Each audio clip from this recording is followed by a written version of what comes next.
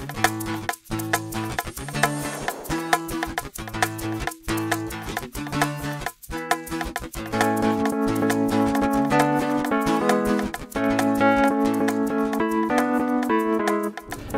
say you wanted to animate a mug root beer can rolling on a desert floor because it's a common thing people want to do. And, and you have a few issues animating it, namely the fact that it just kind of slides as if it is on oil. An odd little effect, isn't it? I spent way too long trying to figure out a solution to this. So you got your physics done, right? It, it does a realistic little landing and all that. The only problem is it's not rotating. So the simple solution is just to bake the physics like I've done here, which you can do by going to Object, Animation, Bake Action, Visual Keying.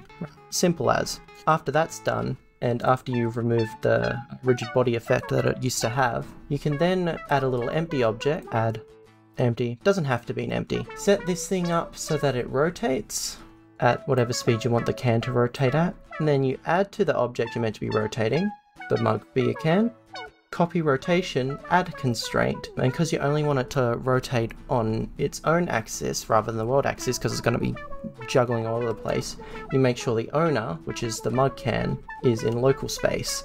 And for ease, you can add this one as world space. So whenever this one z-axis moves, this one will also rotate. So initially, it's just sliding, adding the fly effect here to this, you get... Look at that. She's rolling.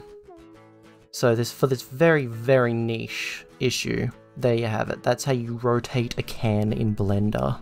There's probably a way to do it with uh, the collision physics, which I messed around with a bunch, but physics is confusing in Blender, so if you, you just want a realistic drop and then a simple roll, that's how you do it.